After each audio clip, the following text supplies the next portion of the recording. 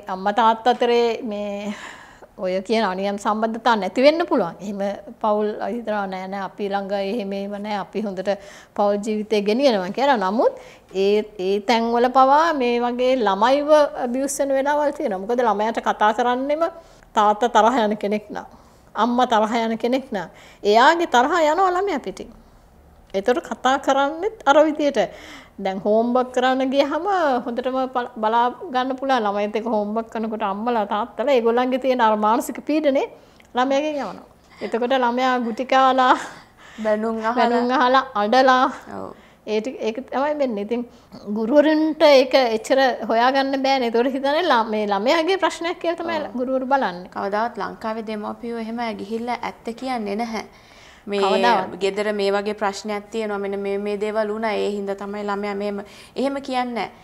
කියන්නේ ගොඩක් දුරට එක්කෝ ගුරුවරියගේ හෝ ගුරුවරයාගේ ප්‍රශ්නයක්. අනිවාර්යයෙන්. එහෙම නැත්නම් ළමයාගේ ප්‍රශ්නයක් එහෙම නැත්නම් ළමයාගේ යාළුවන්ගේ ප්‍රශ්නයක්.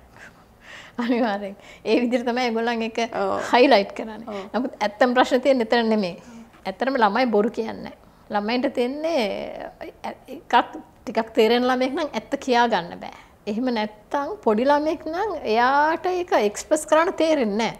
ඒක තමයි එතන තියෙන්නේ. නමුත් එයා ඒක එක්ස්ප්‍රස් කරන්නේ වෙන වෙන විදි වලින්. ඉතින් ඔක හොඳම දේ තමයි පුංචි ළමයි නම් අපි ඒගොල්ලන්ට බොහොම කිට්ටු වෙන්න ඕන. දැන් සමහර ටීචර්ස්ලා ඉන්නවා ඒක හොඳට කරනවා.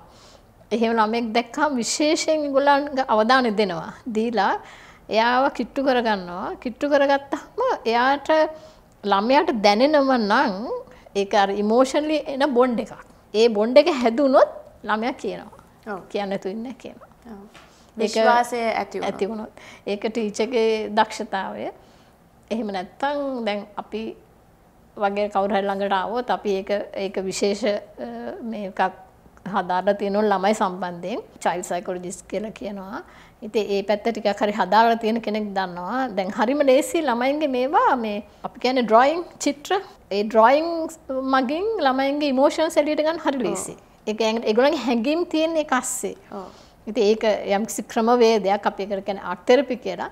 අපි ඒ ක්‍රමවේදය හරහා සමහර දේවල් එළියට ගන්නවා. ඉතින් බොහොම ඔය කතා කරන්නේ නැති සමහරලාට වචනයක්වත් එළියට එන්නේ නැති එහෙම ළමයිත් ඉන්නවා. ඉතින් ඒ වගේ අය මේ මට මතකයි කාලෙකට ඉස්සර එහෙම ළමෙක් හිටියා. මේ වචනයක්වත් කතා කරන්නේ නැහැ. මොන්ටිසෝරි ගියත් වචනයක්වත් කතා කරන්නේ නැහැ. ටීචර් මේ හොඳට ටීචර් කියන දේවල් ටික කරනවා. හැබැයි කතා කරන්නේ. අනිත්තට හරි ප්‍රශ්නයක් මොකද මේ කියලා මේ මොන්ටිසෝරි ළමයෙක් නේ. හැබැයි ගෙදරදී අම්මා තාත්තා එක්ක හොඳට කතා කරනවා. ඒ ළමයාට ওই වගේ ක්‍රමවේද තමයි අපි පාවිච්චි කරේ. මොකද වැදගත්ම කොටස මම හිතන්නේ ළමයිනේ අනාගතේ බාර ගන්නවා.